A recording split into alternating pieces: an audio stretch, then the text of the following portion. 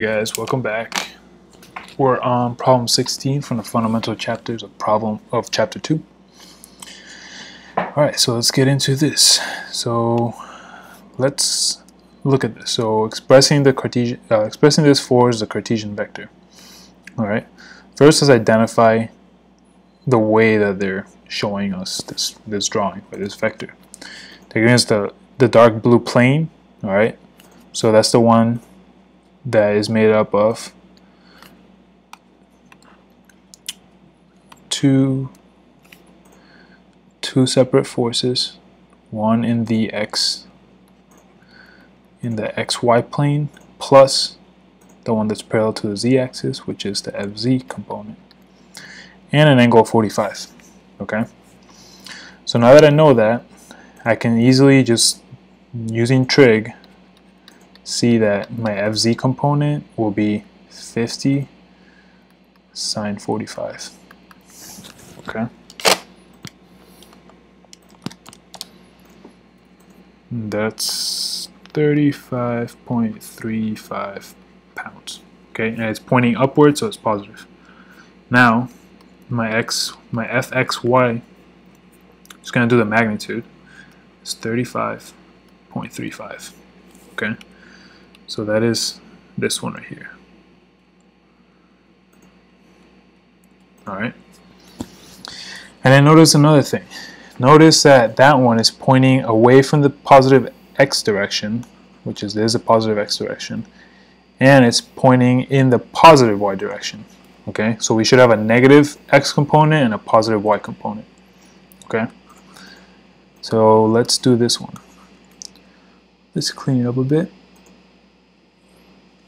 okay? And again looking looking down from here these are all seeing eyes. Looking down from up here you're gonna see the XY plane that we're all used to seeing right? And then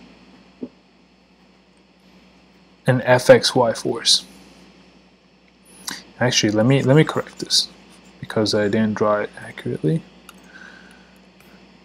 So this is what we're used to seeing, x and y, okay? But it's pointing in the negative x direction. So we're seeing, actually, we're seeing this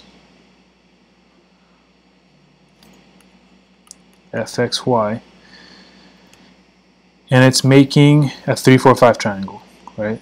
So it is so let's see. The 4 is parallel to the y so this will be 4 yeah this is the y this is the x. And the 3 is parallel to the x. Okay so here's my 3 4 5 triangle alright and now I can easily just do my fx and my fxy. Sorry, and my fy. Okay. So it's 35.35. Okay.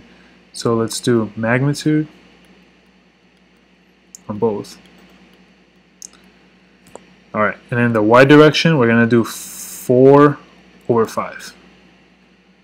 So the y direction is taking 4 fifths of that force to itself. Okay. And in the x direction, so we know it's negative because it's pointing in, in, this direction. And it'll be the magnitude, or, oh yeah, so yeah, the magnitude um, times 3 fifths.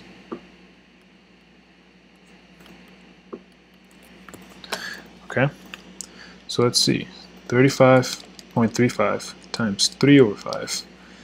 That'll be minus 21.21 and here we're going to have 28.28 pounds. Okay? And then that's it. We already found our FZ, our FY component, and our FX component. So now, just to finish it off, our vector will be minus 21.21 i plus 28.28 j plus 35.35 k. All right, and that's it.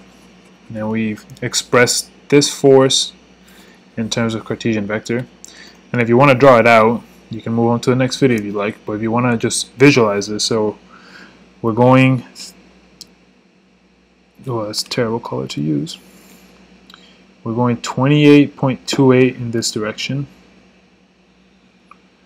Then we're going negative 21.21 in this direction.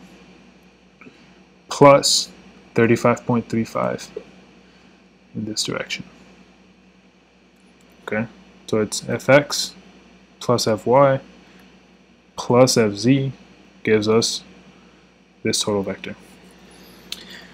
I hope that helps visualize it. I hope this video helped you guys. Um, if you have questions, just comment down below. I'll, answer them as soon as I get to them. Uh, thanks for your time, guys. Take it easy.